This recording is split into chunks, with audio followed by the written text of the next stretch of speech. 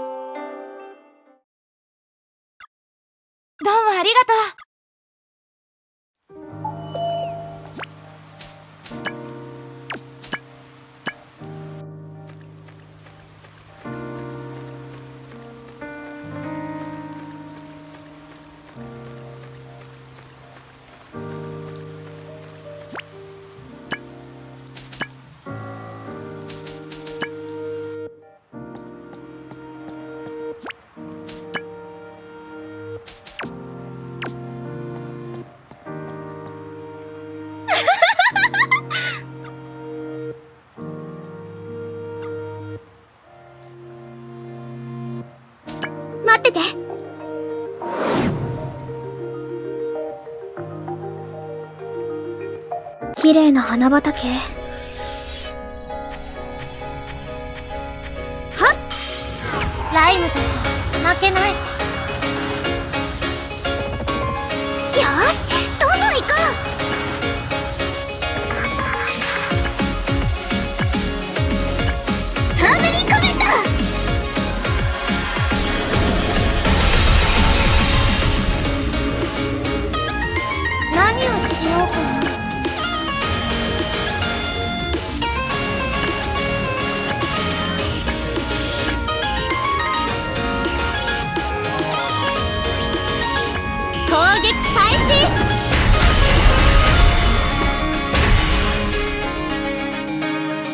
頑張らないと。一気に行くよ。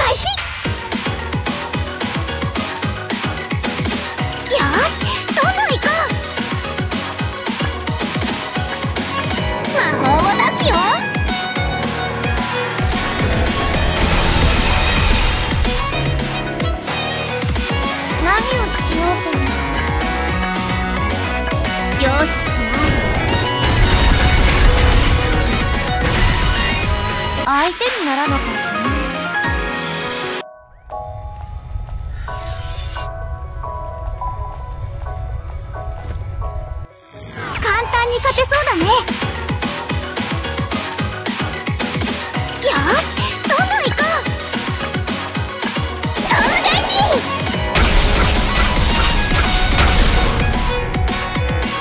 何をしようかな攻撃開始早く次に行こう。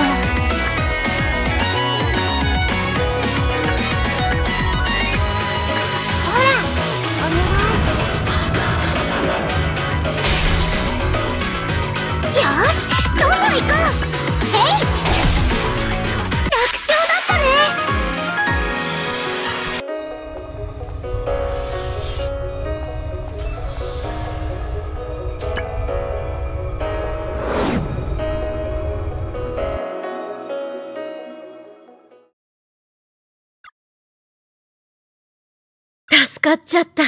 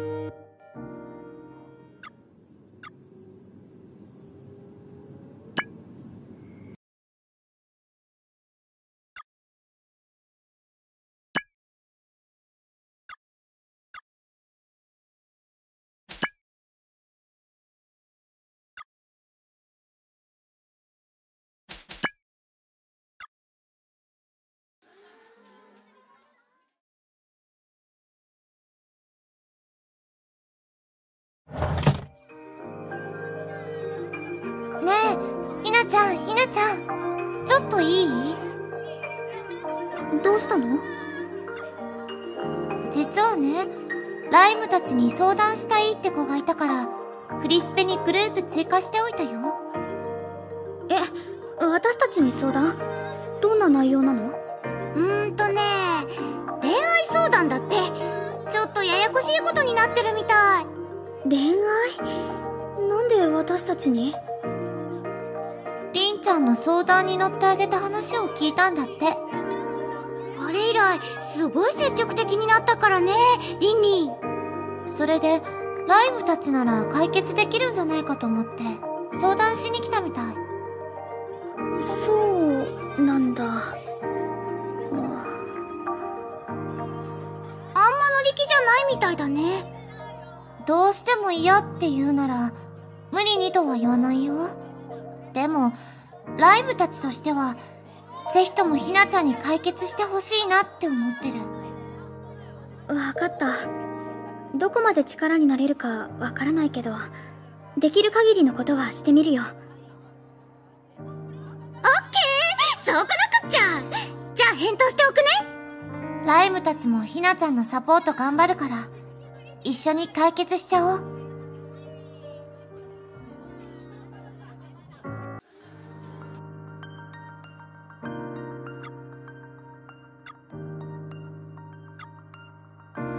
何かするかな？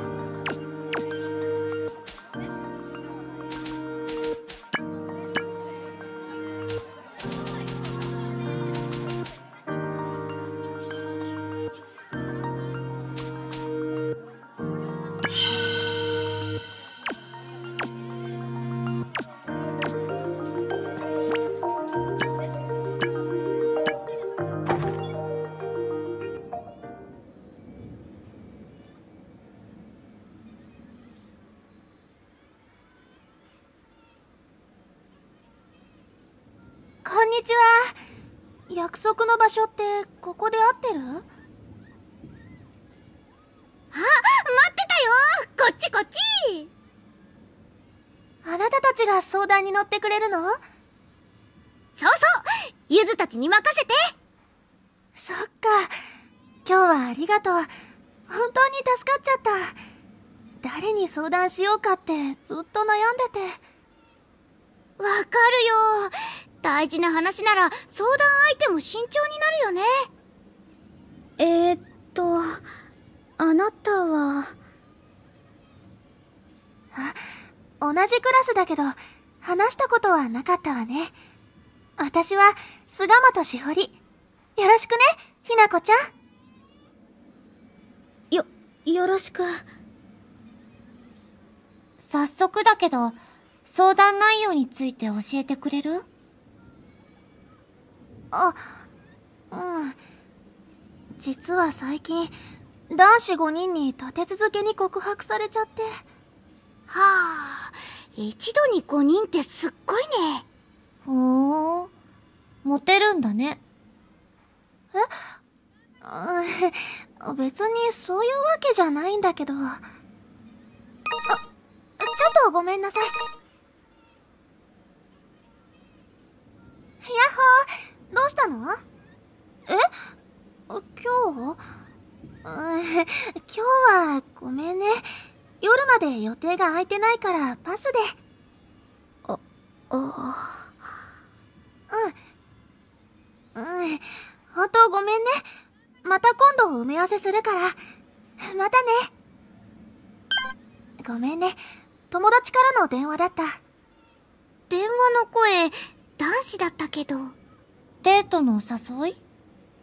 デート？うーん。ただの買い物のお誘いかな。前に好きなコスメの新作が出たから欲しいなって話してたの。そうしたら放課後に買いに行かないかって。コスメって化粧だよね。化粧なんかしていいの？化粧なんかって、ひなこちゃんはメイクしないの？うん。バレエのステージではしてたけど、あれはステージ用だし。えっと、お肌のケアとかはしてるよね？特には。嘘日焼け止めとかも使ってないの？今の時期は紫外線が強いから、曇りの日でも油断できないんだよ。そ、そうなんだ。信じられない。下地もやってないなんて。綺麗な肌してるんだから、ちゃんとしないともったいないよ。そういうのは全然考えたことなかった。ゆずとライムもしてるの？ゆずたちは、ねえ、ライム。それなりに？そう、なんだ。びっくりした。女の子はみんなしてて当然だと思ってた。今まではバレエが私の世界の全部だったし、メイクとかおしゃれとかは考えたことなかったかも。うーん、それってもったいなくない？女の子としての人生、半分くらい損してるよ。それは言い過ぎな気が。言い過ぎじゃないって。女子力は戦闘力なんだから。よーし、わかった。私がメイクの良さを教えてあげる。さあ、行きましょいや、私は、う。いいから来るの。一度経験すると絶対ハマるから。ほらほら。ちょ、ちょっと、押さないでゆず、どうする？もちろん行くよ。ひなちゃんがメイクした姿。ライムも気になるでしょ？そうだね。行こうか。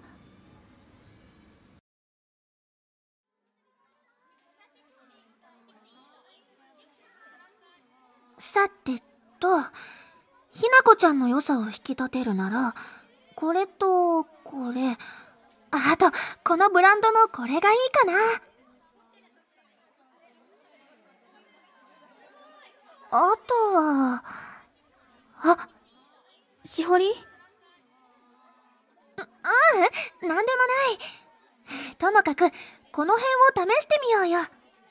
私には何がどう違うのか全然わからないんだけど。大丈夫、大丈夫。はじめはみんなそんなものだって。今回選んだのは、肌へのダメージが少なくて、ナチュラルメイクっぽく見えるやつね。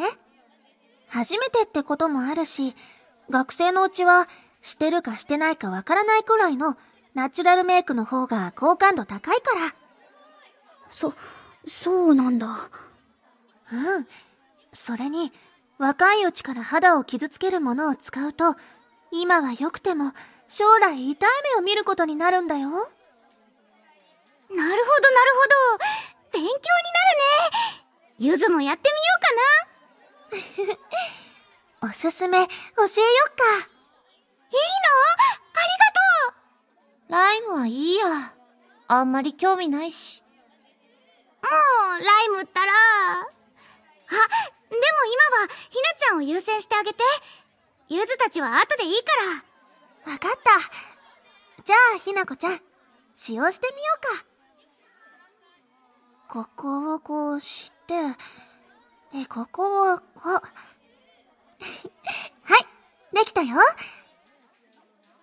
すごいすごいすごく可愛くな、ったそうかな。でも、見た目の違いはよくわからないけど、確かに雰囲気が変わった気がする。ほんとだすごいもともと綺麗だったけど、ひなちゃんさらに綺麗になったよちょっと、驚いたかも。化粧って、やり方次第でこんなに変わるんだ。うんうんやっぱり素材がいいからかなそ、それはどうかな。絶対そうだってせっかくいいものを持ってるんだからこれからはちゃんとお肌の手入れもしないとダメだよ。お風呂上がりに化粧水と乳液を使うだけでもいいからね。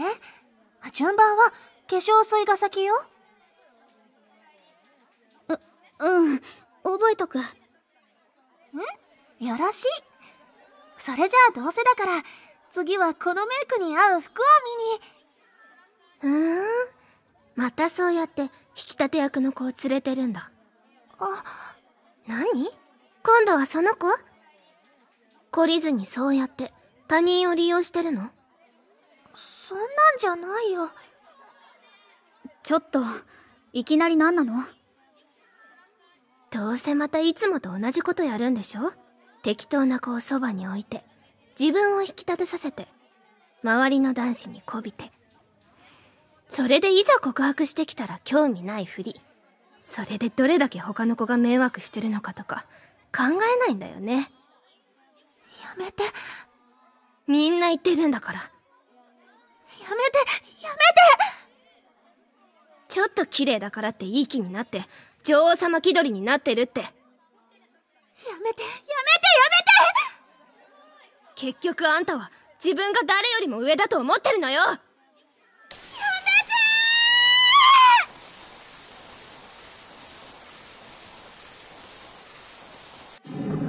これって、二人とも準備して行くよ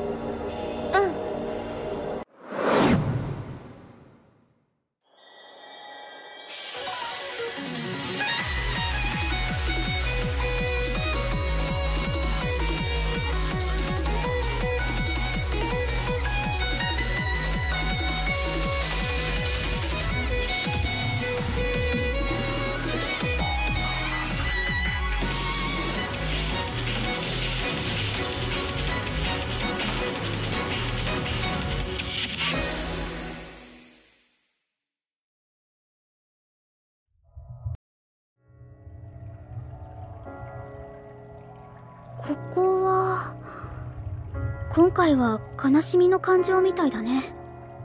うん。この雰囲気この間と似てるし間違いないと思うよ。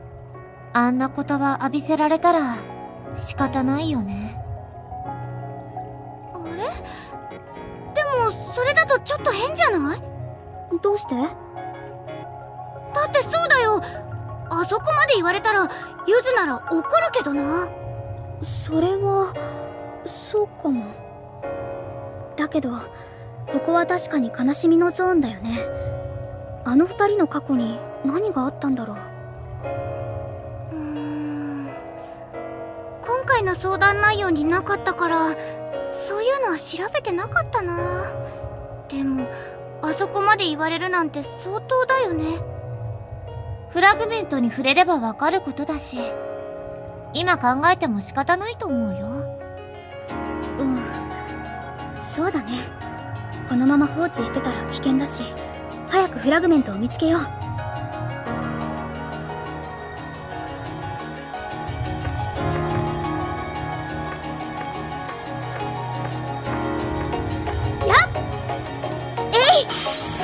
邪魔しないで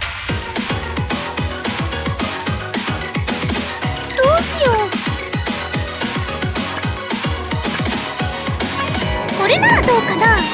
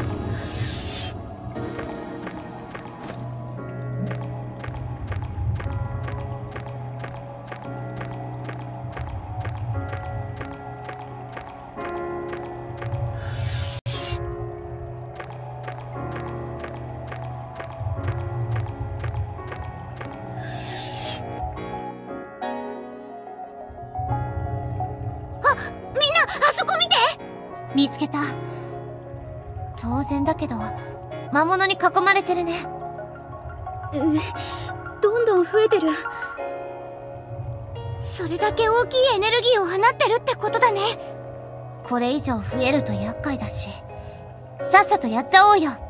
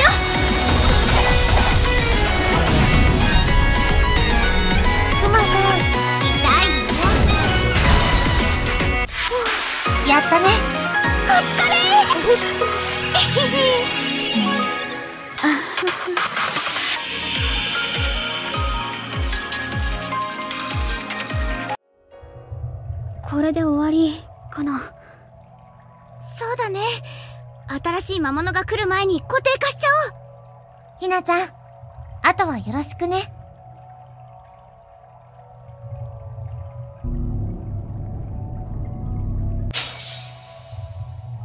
どうして？なんで？わからないよ。私はみんなが綺麗になれるように頑張っているだけ。それなのにどうして責められないといけないの？おかしいよ。努力して努力して努力して結果が出るだけで疎まれるの？努力が報われて何が悪いの？しほり。みんなこびてるって私の努力を否定するけど私はこびるために綺麗にしてるわけじゃない。もっと自分を磨きたいもっともっと綺麗になりたい。ただそれだけなのに。それをみんなと共有したいだけなのに。どうして否定されなきゃいけないの？それで責められるなんて。私悲しいよ。そっか。しほりは自分は努力してるだけなのにみんなに責められて悲しかったんだ。そういえば。この間のサラサが暴走した時に感じたことと似てるかも。ただ自分のことに必死でそのために頑張ってるのに応援してもらえない悲しさ。きっとしほりも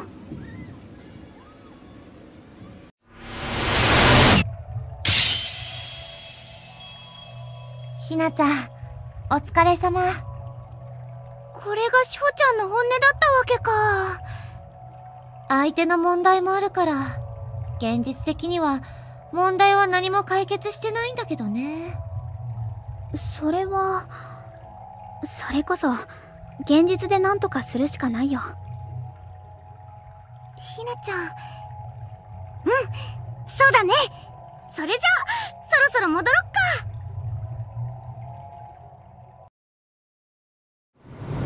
何よ叫んじゃって。意味わかんない。悪いのはあんたじゃない。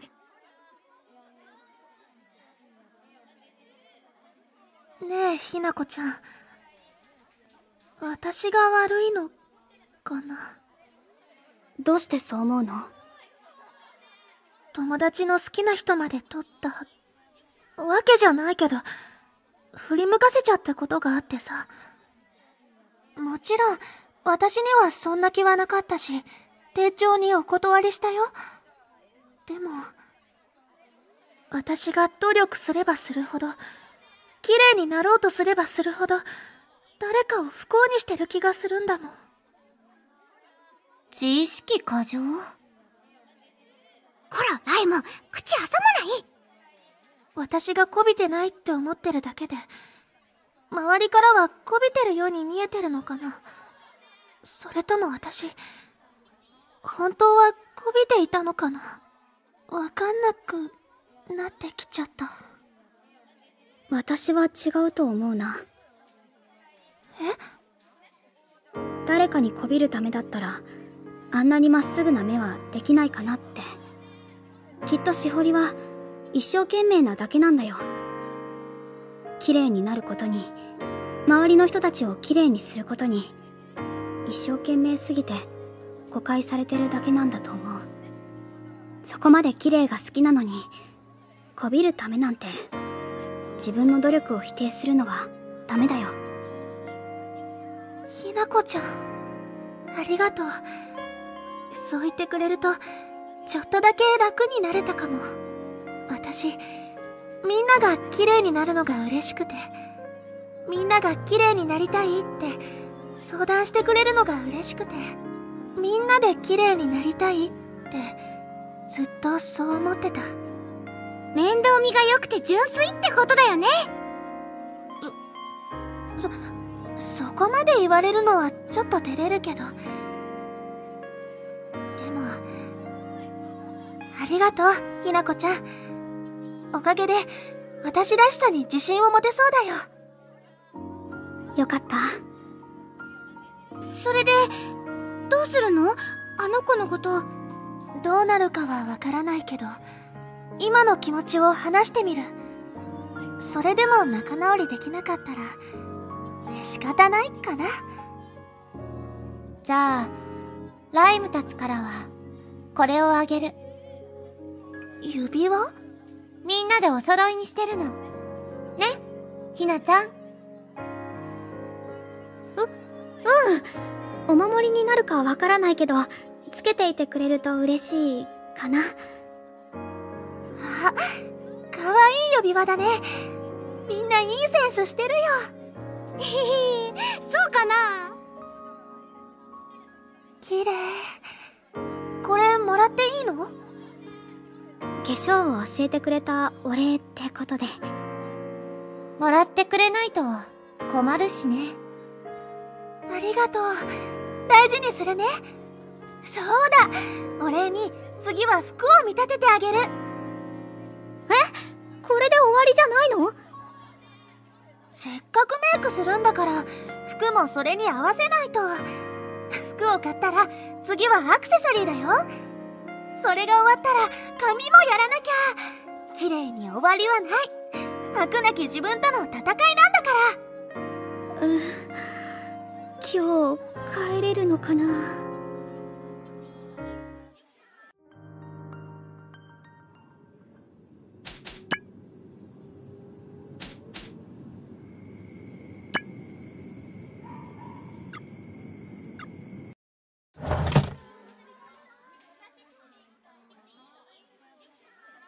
そうそう。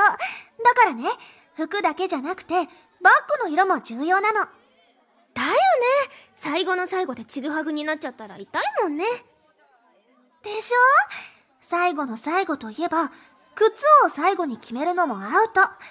むしろ靴は一番最初だから。あれ？あひなちゃんおはよう。あの二人仲直りしたの？そうみたい。ライムたちが見かけた時には、もうあんな感じだったよ。ひなこちゃん、おはよう。おはよう。昨日の今日なのに仲直り早いね。あの後、私たち思ってることを包み隠さずに話し合ったんだ。ほんと、しほり全く引かなくて大変だったわよ。それに圧倒されちゃってついねそれでさそのなんていうか私にも誤解があったって分かってそのしほりには悪いことしちゃったなって。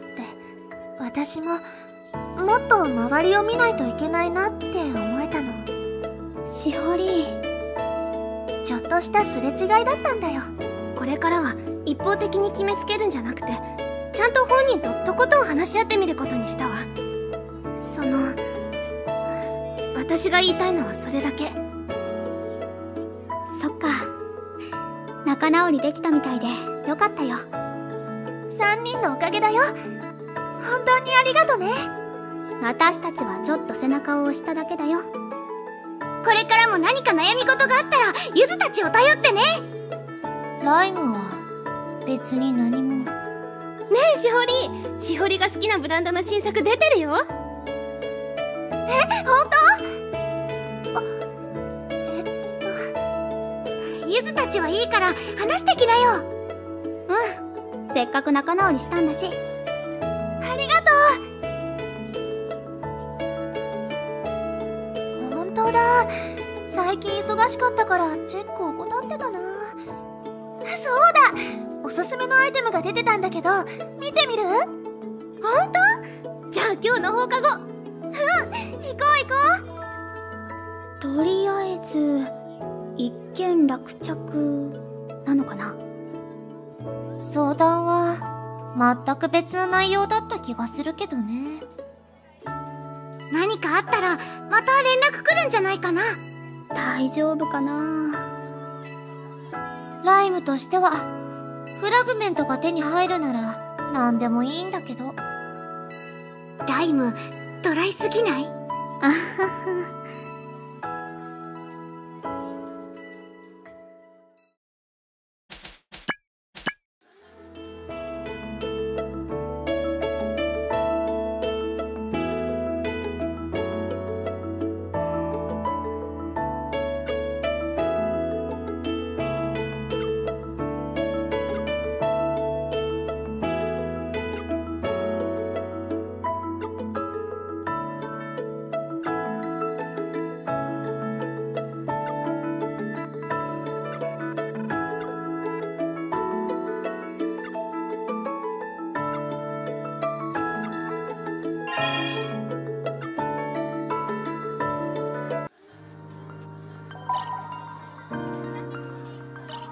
信ないかな。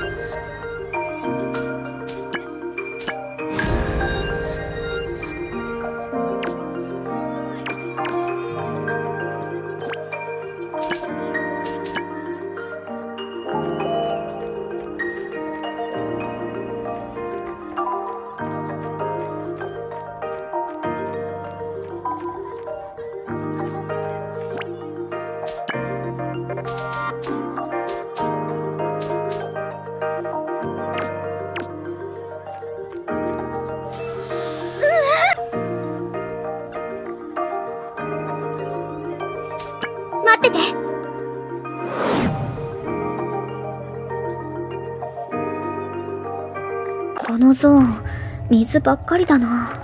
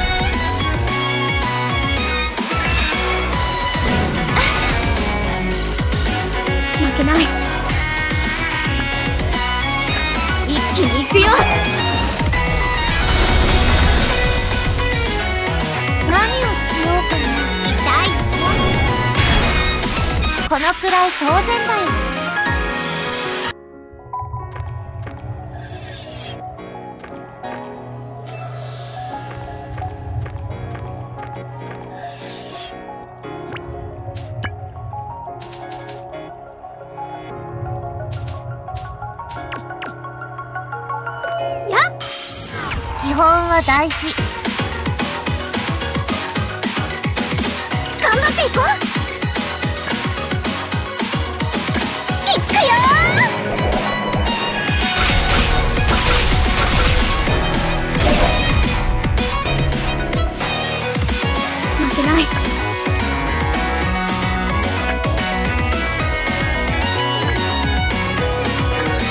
行くよ。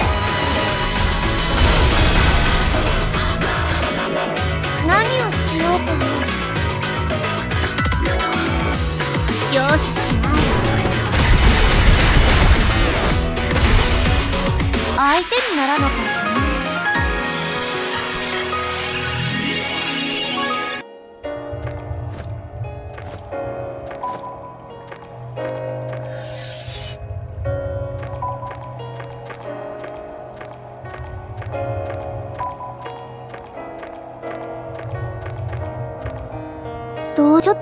考えてみよう。ちょっと考えてみよう。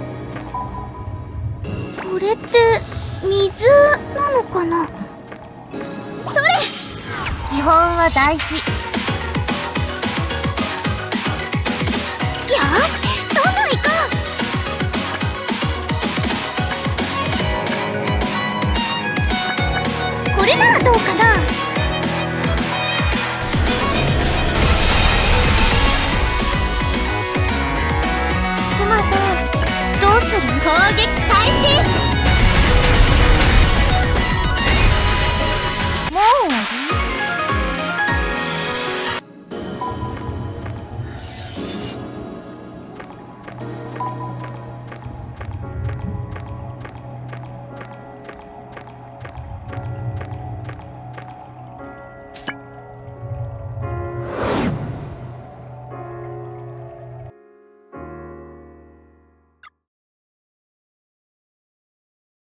感謝してるよ。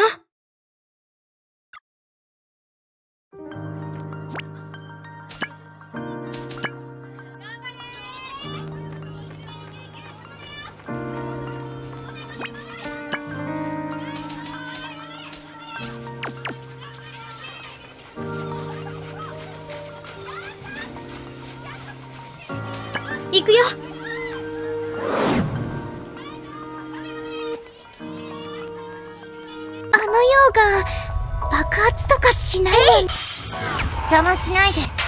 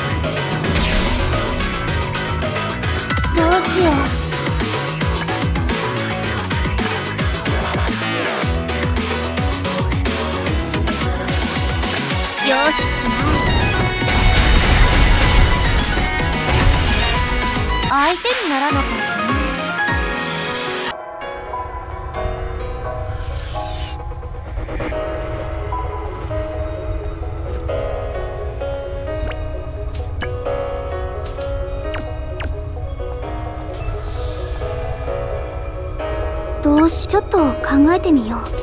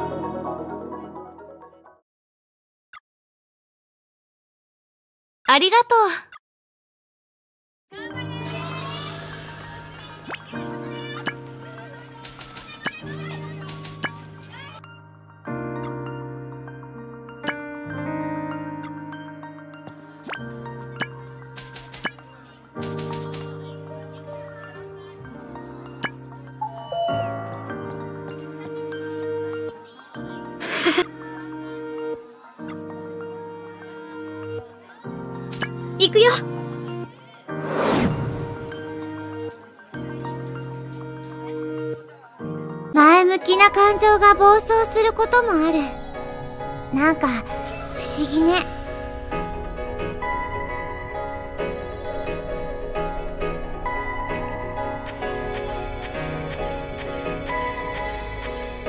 やっ！いつも通り落ち着いて。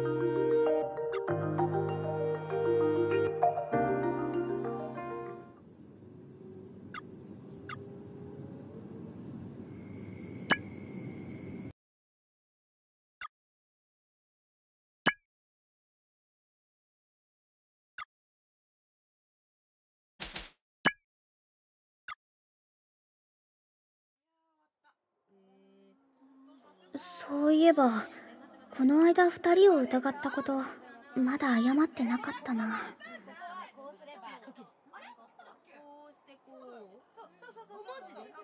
あのさあれまたいない。しょうがない。探しに行くか。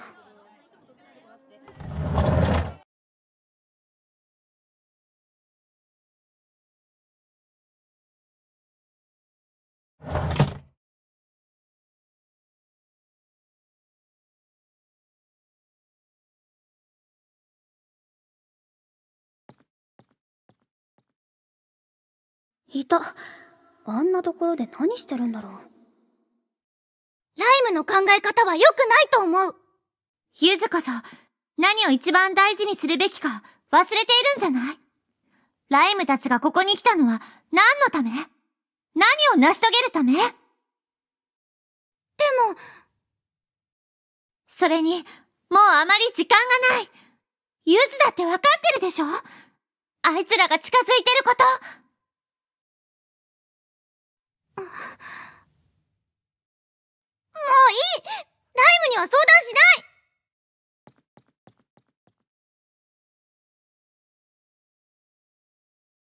あ、見られちゃったね。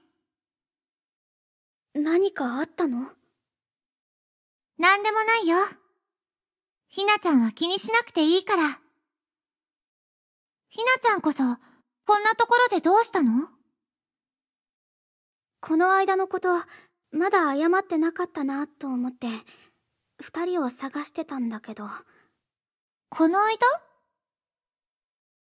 アコが行方不明になった時二人のことを疑っちゃったから。ごめん。それとアコを助けてくれたお礼も言いたくて。謝らなくていいよ。ライムは別に、アコちゃんなんてどうなってもよかったんだから。え？大丈夫。ライムたちに任せておけば、全部うまくいくから。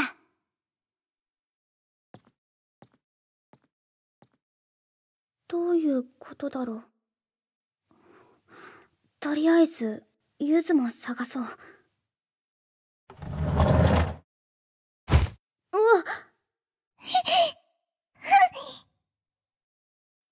と。ちょっと待ちなさいよどっちに逃げてった？あの子え？ごめん、わかんない。信じらんない。やっぱり、みんなが言ってる通り、あの子が犯人だったんだ。犯人？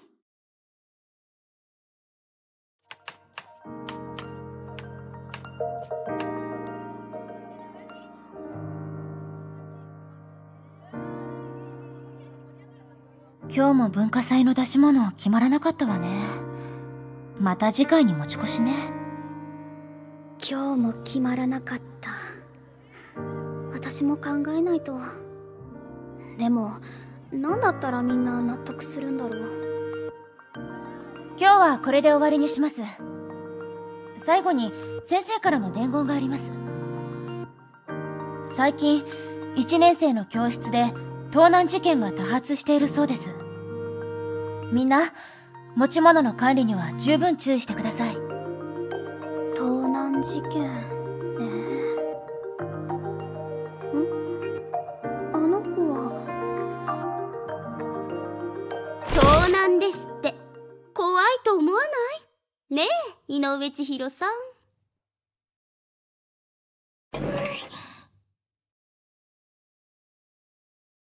あなたが盗んだんでしょ？昨日、逃げてくところを見たわ。ねえ、荷物検査しようよ。そしたら犯人がわかるんじゃない？やめなよ証拠もないのに責め立てるのは良くないよだから、荷物検査して証拠を見つけるんじゃない？そうそう。やましいことがないなら別に見られたって問題ないはずよ。じゃあ私たちも全員荷物検査されていいってこと？犯人じゃないことを証明するためにそれは、はいはい、そこまで。今日はもう解散しましょう。白井さんの言う通り、証拠もないのに疑うのは良くないわ。わかった。あのさあ念のために聞くけど実はやっぱりあなたが犯人とかじゃないよねじゃあなんで逃げたの？どうしたもんかな？な、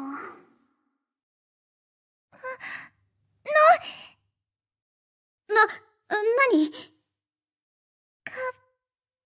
ってくれて、ありが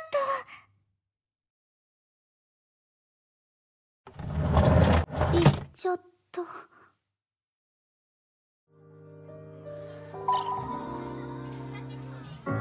信ないかな。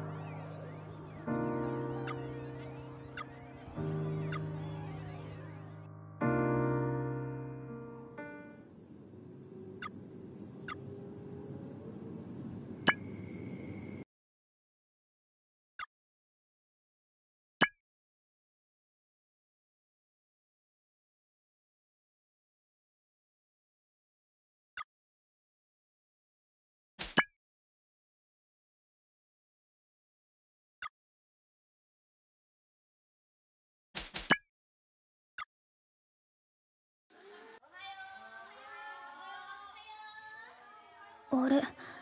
上履きがない。ひなこちゃんおはよう。どうしたの？あおはよう。ちょっと上履きがどっか行っちゃって。私も一緒に探すよ。ありがと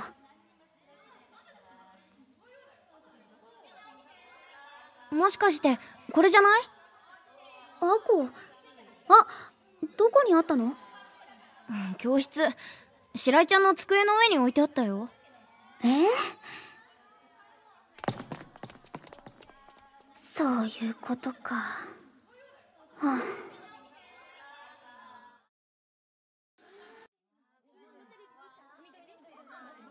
あ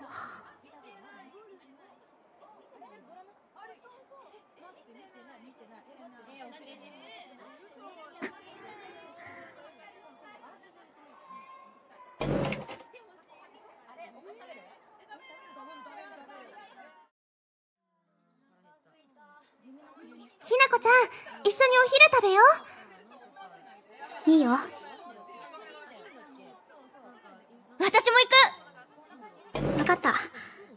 あちょっと待ってて。ねえ。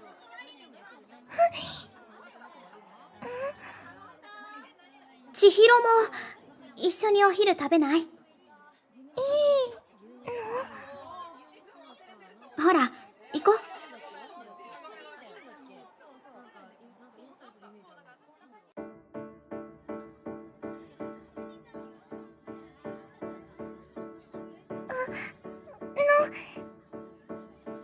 したの？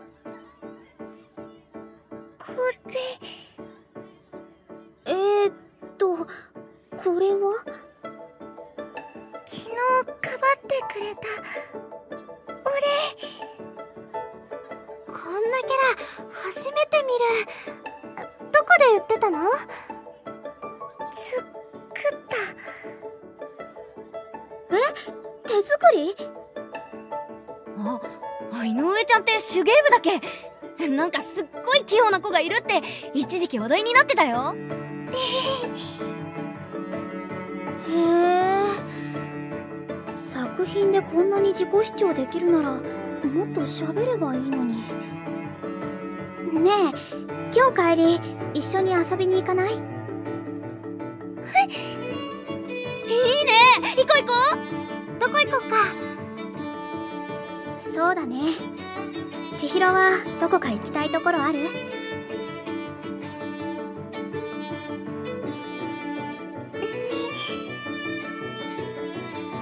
みんなが行くとこならどこでも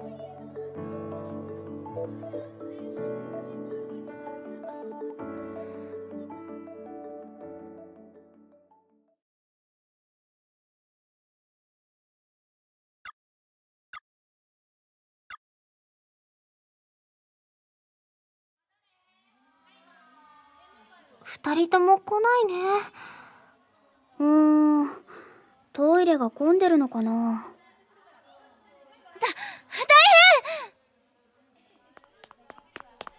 あこちゃんどうしたの？い井上ちゃんが昨日の子たちに連れてかれて。え？多分白井ちゃんにちょっかい出しても相手にされなかったのと井上ちゃんが楽しそうにしてるのを見てイラッときたんだと思う。そんなどこに連れて行かれたの？わかんないけどここに来てないならまだ来ないかな。ひなこちゃん急いで探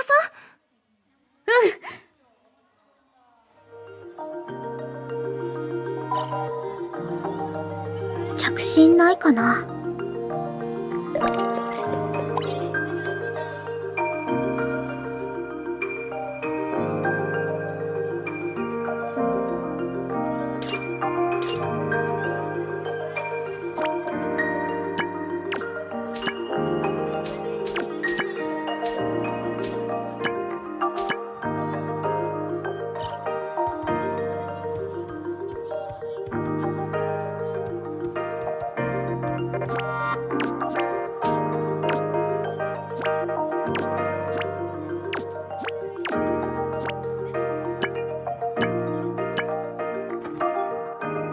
に乗ってんじゃないわよ。ほらさっさと白状しなさいよ。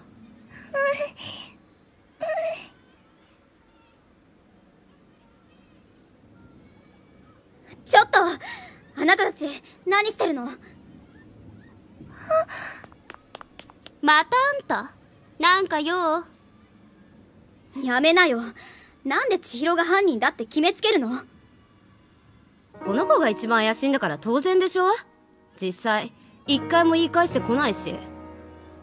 それは。だいたいあんたもいつまでいいご身分でいるつもり？膝の怪我で特待の推薦なくなったんでしょ？偉そうにされる筋合いないんだけど。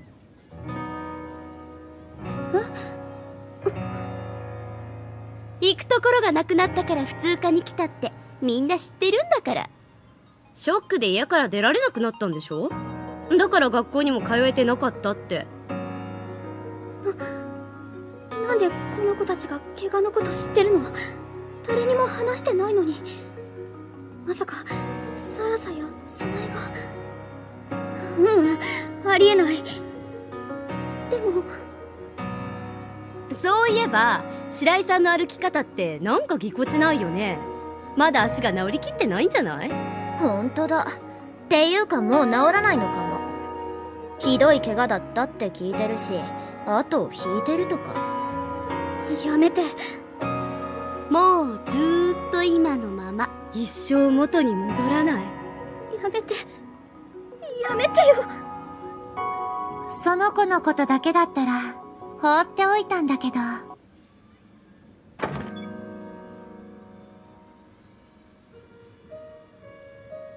ひなちゃんのことまで悪く言うなら許さない。ライム？何？あんたも泥棒の味方をするわけ？さあ泥棒はどっちかな？これは何の動画？これで二つ目。意外と楽勝ね。この映像まさかそう。あの子が盗んでいる現場の動画。でっち上げよそんなの。だいたい体育の授業中に他の生徒が教室にいられるはずないし。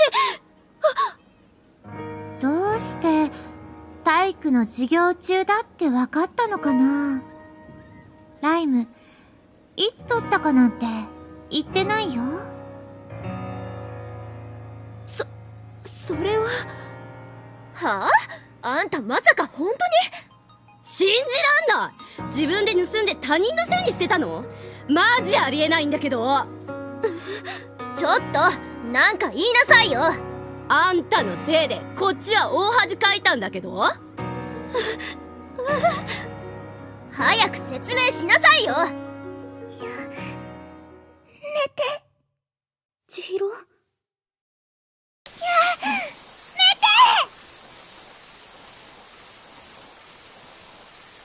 千尋ああそっちだったんだ。もう手間がかかるな。ライム？まさかあの子に何かしたの？ううん。あの子には何もしてないよ。でも今回はそれが正解だったみたい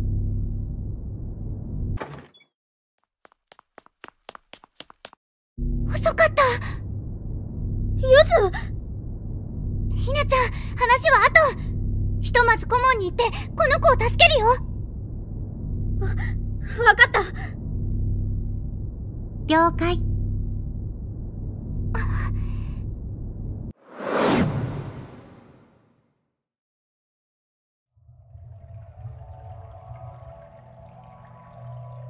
千尋急いで助けないと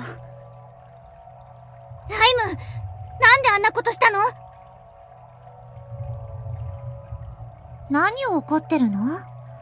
これでフラグメントはより強力になったはずだよ。だからって人を傷つけていい理由にはならないでしょ？ちょっとゆず落ち着いて。何があったの？ゆずたちはちーちゃんが濡れ衣を着せられようとしてるって知ってたの。どういうこと？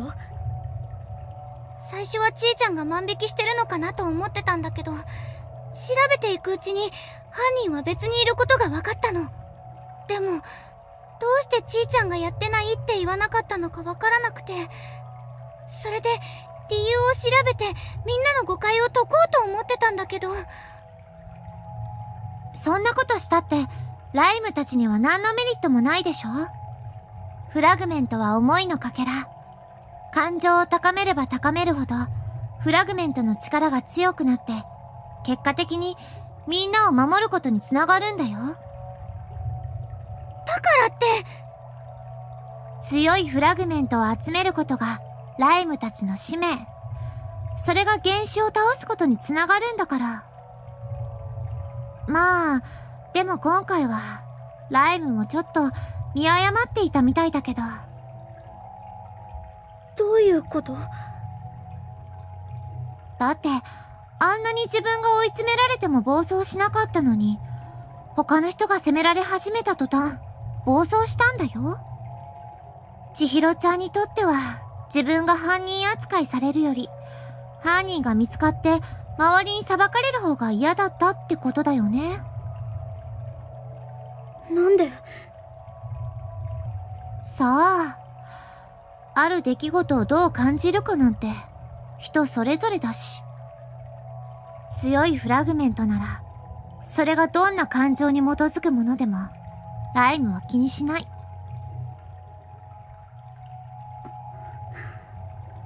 さ、ひとまずあの子のフラグメントを探しましょう。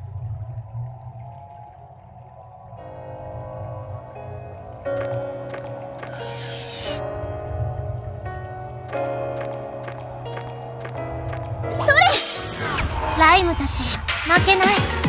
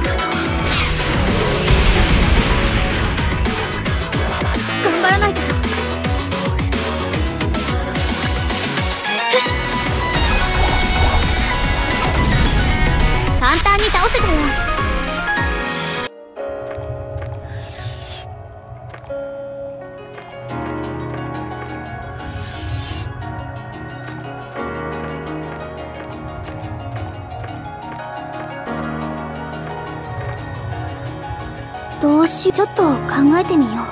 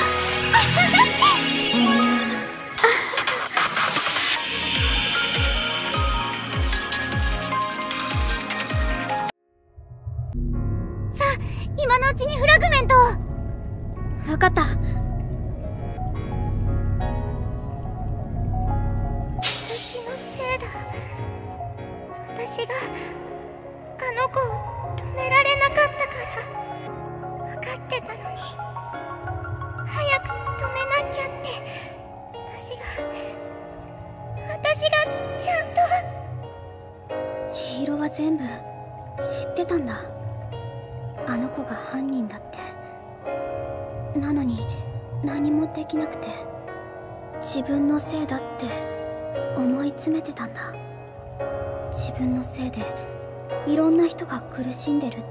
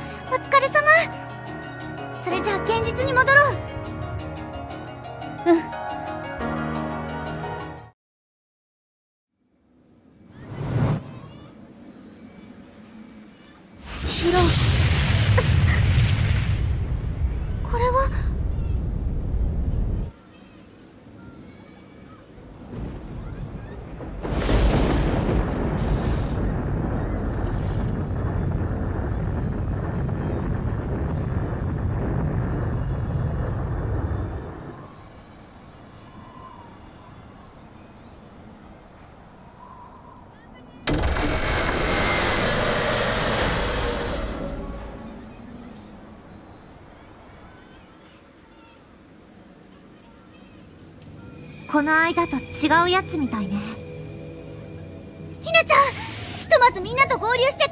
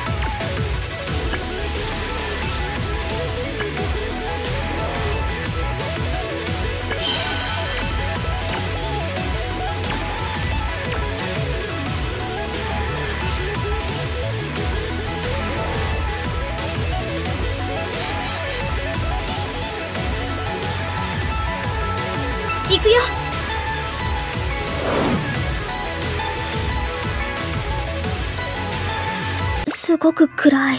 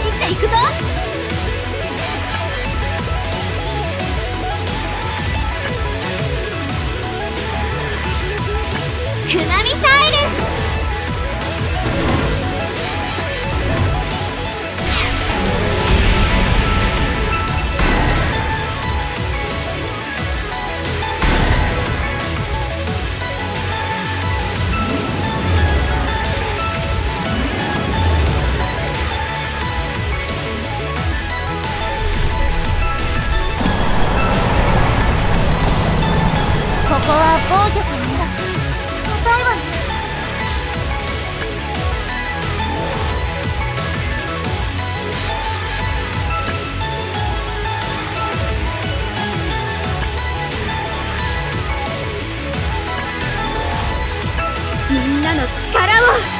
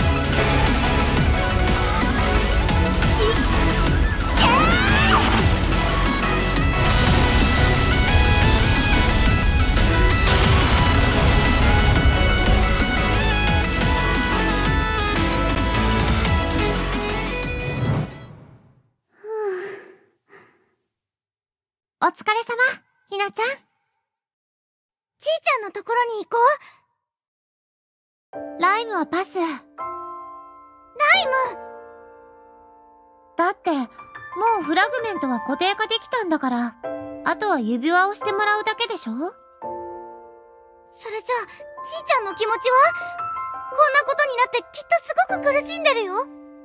だから何？あの子の悩みを聞いてあげたら、フラグメントがもっと強くなるの？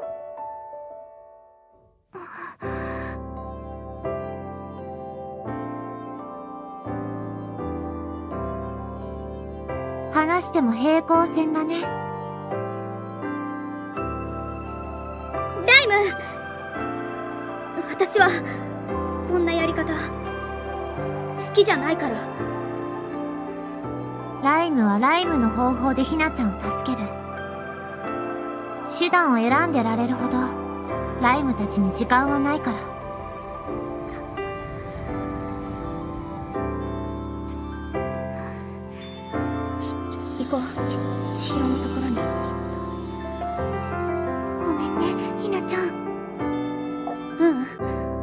丈夫。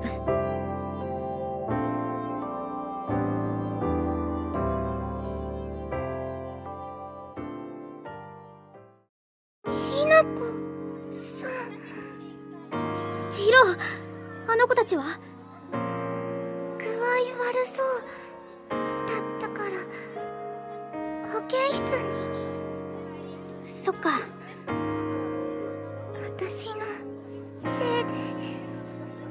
私がうまくやれてたら誰も傷つかなかった何度も止めようとしたけど怖くて声かけられなくてそうか。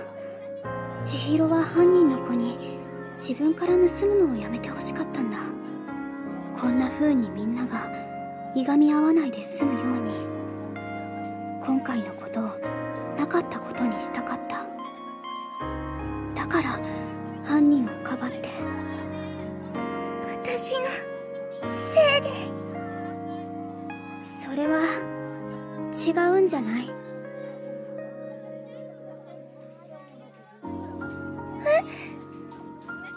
私もみんなが仲良くできたらそれが一番だと思う。でもみんなそれぞれ他人なんだし思った通りになるわけじゃない。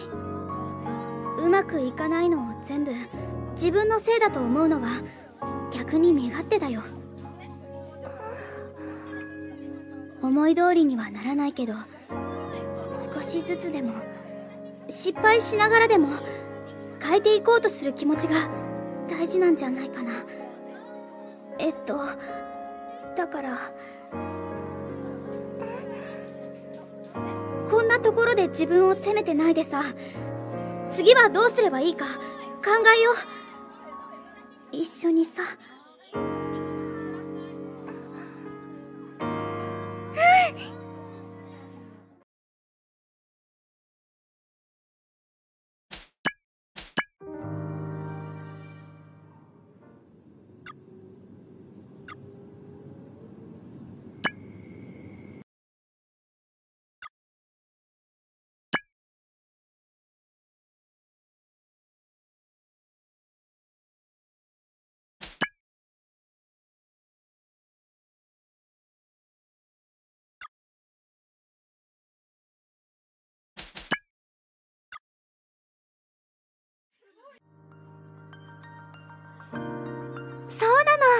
それでね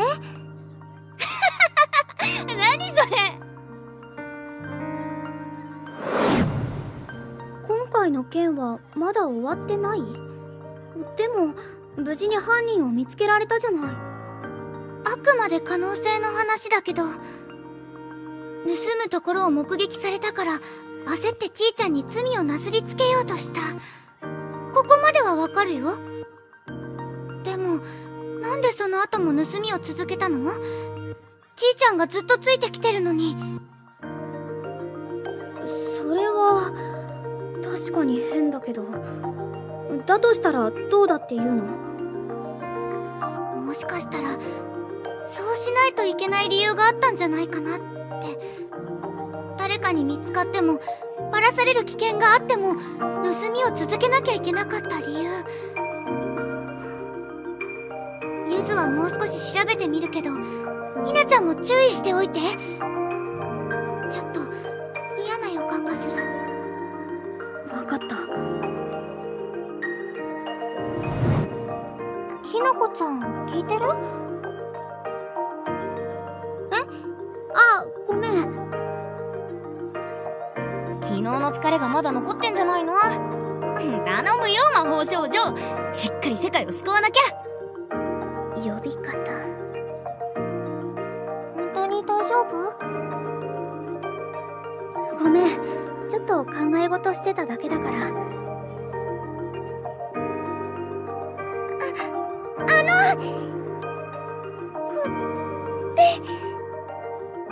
えー、っと昨日の、おおなかなかかっこいいね。新しい武器？スマホカバー。うーん。ありがとう。大切に使うよ。うん。